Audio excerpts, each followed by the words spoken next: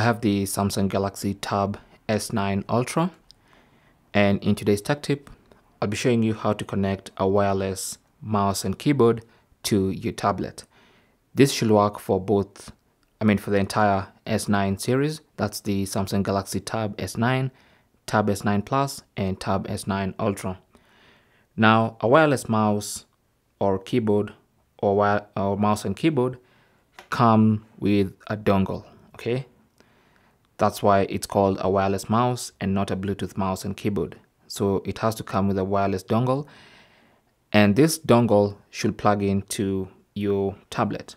Now the problem is this is a full-size USB type A and we have a USB type C port on the tablet. So what you need is a hub or a dongle, okay? If you have a dongle with a type C connector and then a female type A, USB type A, where you can plug in your dongle, then you can actually connect a wireless mouse and keyboard. Now this is a very uh, advanced hub. You can get this on Amazon. I'll leave a link down below, but there are simpler dongles you can get, okay?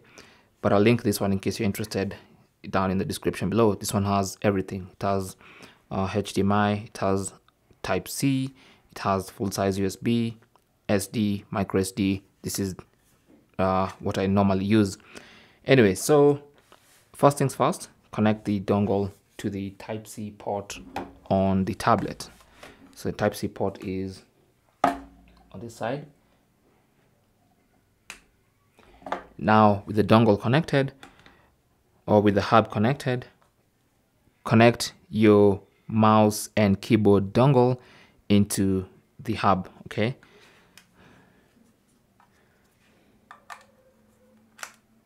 There you go. So once that is connected it basically means your keyboard and mouse should be connected okay? And you can actually see uh, the mouse pointer here. And let's try the keyboard. So let's try and type something. And the keyboard works as you can see okay